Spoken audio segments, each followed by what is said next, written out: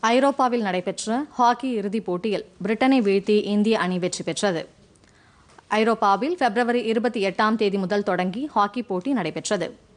இதில் பங்கேற்பதற்காக இந்திய ஆடவர் ஹாக்கி அணியினர் அங்கு சுற்றுப்பயணம் மேற்கொண்டது.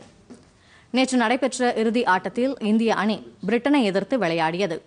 மிகவும் விறுவிறுப்புடன் நடைபெற்ற இந்த ஆட்டத்தில் இந்திய அணி வீரர் ஹர்மன் பிரீத் சிங் ஆட்டம் தொடங்கிய சில மணித்துளிகளில் கோல் அடித்து அசத்தினார். பின்னர் அவரைத் தொடர்ந்து இருபத்தி எட்டு மற்றும் ஐம்பத்து ஒன்பதாவது நிமிடங்களில் மன்தீப் சிங் இரண்டு கோல்களை அடித்தார். பிரிட்டன் தரப்பில் ஜேம்ஸ் கால் ஆடம் போர்ட்ஸ்மித் ஆகியோர் தலா ஒரு கோல் அடித்தனர். இதனால் இந்திய அணி மூன்றுக்கு இரண்டு என்ற கோல் கணக்கில் வெற்றி பெற்று சாதனை படைத்தது.